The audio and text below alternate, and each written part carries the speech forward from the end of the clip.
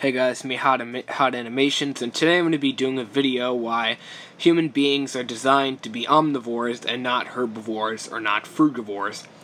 Now, oftentimes I hear this, that we're only designed to eat fruit. Now, I'm just going to be debunking this, I think this really gets popular uh, where Dr. Milton Mills, if I'm saying his name correctly, um, picture is going to be, I'm going to show a picture of him right now, says that we're frugivores or that we shouldn't eat meat.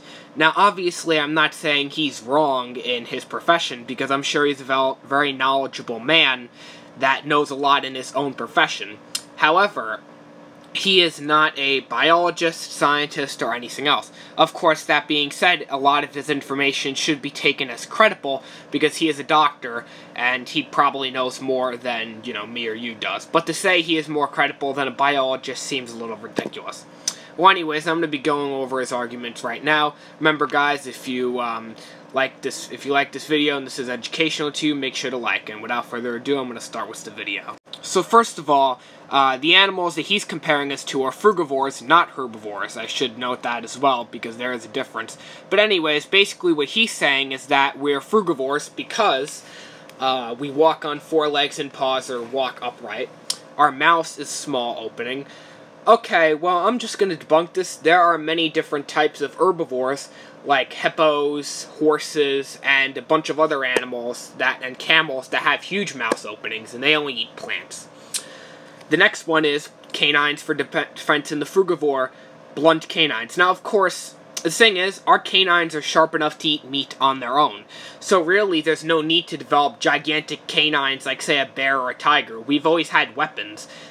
And our teeth are not flat. I mean, if you look at our molars, for example, our molars are not flat, they're jagged. But anyways, big and flat incisors, again, was the notion.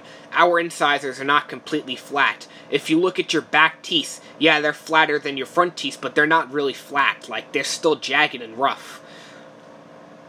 Um, and yeah, sweat through pores, again, basically all this proves is that we are omnivores, because if you look at the animal that they're comparing us to, or that Dr. Milton Mills is comparing us to, sorry if I'm saying your name wrong, the, it's an omnivore, not a frugivore.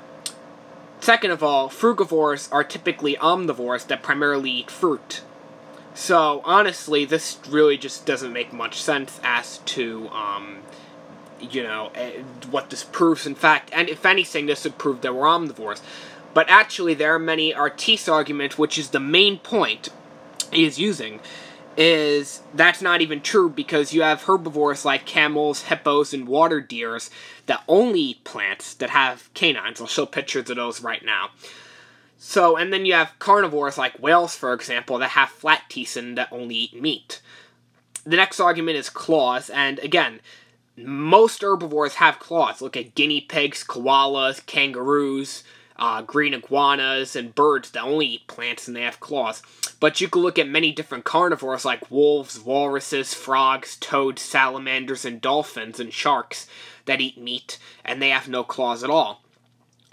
So, honestly, next, you know, um, in fact, what really tells if you're an omnivore or a herbivore or carnivore is your digestive system. For one, our digestive system can metabolize many different types of foods. We can get nutrition from meats, plants, and anything really uh, that we could digest. And so happens we could do that. If we were really meant to be frugivores, we'd only be able to get our nutrients from fruits and vegetables and nuts. But instead, we could get nutrients from almost anything. Second is stomach acidity. Our stomach is the strongest among any primate. Our stomach is 1.5 to 3.5, which is where it should be to be a comparison, an herbivore, or specifically a frugivore, its stomach acid is 5.1 to 8.1. A carnivore stomach acid, like a lion or a wolf, is 1.1 to 3.5. So this would actually, funny enough, put us in the carnivore category. Now, I'm not saying we should only eat meat, but what I am saying is that to say we're, our bodies are designed to mostly live on a vegan or vegetarian diet seems a little bit of a stretch, as our bodies, our digestive system, we have the same acidity as a carnivore. Or an omnivore, like a bear.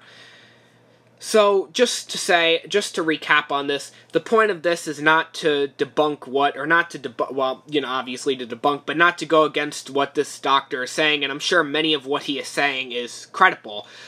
Again, what he should just be saying is that humans don't need meat to live. We could live on a vegan, vegetarian, or carnivore diet. This is clear. Whatever lifestyle fits better for you, you could live on whatever lifestyle. Um, you could live being a meat eater, you could live being a vegan, you could live being an omnivore. It really doesn't matter um, what your eating habits are, as our bodies are adapted to eat various amounts of diets. We're omnivores, this is clear. However, to say that we're only designed to eat plants uh, seems a little bit of a stretch, as the evidence I've showed you. But anyways, no disrespect to Dr. Milton Mills, no disrespect to the people who actually believe in this, and obviously no disrespect to people on plant-based diets, but sorry guys, we are omnivores and not herbivores, or frugivores, or whatever. Thanks for watching this video. If you enjoyed, have a great day, and peace out as always. Goodbye.